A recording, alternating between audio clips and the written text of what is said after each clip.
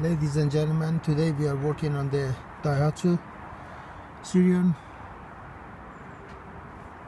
a UK model 57 it's 2007 I'll just show you something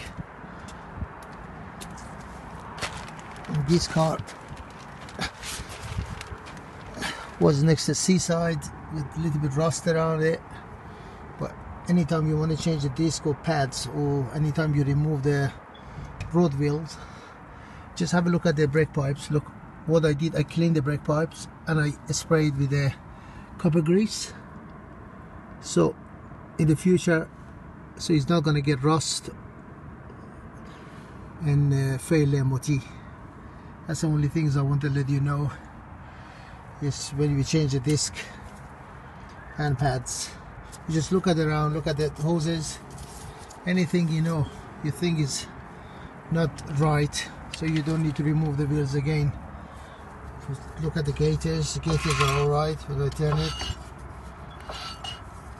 That's it. You just we go around have a quick look. Is anything else? See they're all okay. All those gaiters not rusty, torn, anything. These gaiters, wishbone gaiters okay. Shock absorber is okay.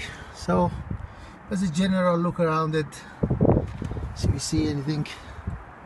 So you can do there and then. Especially the brake pipe is more important.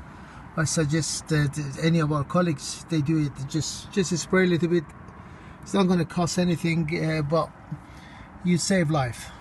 Thanks for watching. Bye-bye.